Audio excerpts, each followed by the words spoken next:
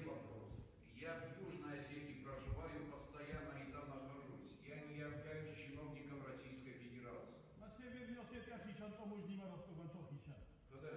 Северной Осетии хищат поможнима Ростован то Ну да, ты чмом надо. Для одежды